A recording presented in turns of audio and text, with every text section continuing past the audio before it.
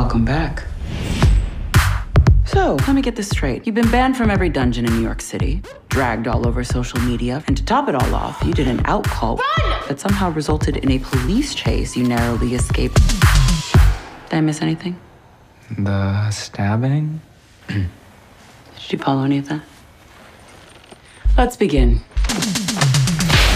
This one's for my enemies. We're here to work again Be scared of me. And to make it right. I'm really pleased with your progress. Your minion, on the other hand, He's my best friend. he seems more interested in making you laugh than in making you money. I'd hate to see anything or anyone get in the way of that. Do you not want to do this with me anymore? I'm taking this seriously. You don't even want to be a Dom. You want to be a comedian. You want to be a therapist? was doing the trick for me, mistress. Don't call me that. I'm my friend. We've been friends for 10 months. Do you love him? I don't know if I can. I'm still working on that for myself. You are special to me. He, I want to come out to my dad. You don't have to do it just for me. I'm not. I'm doing it for us. Oh, hey, Rolf. Don't.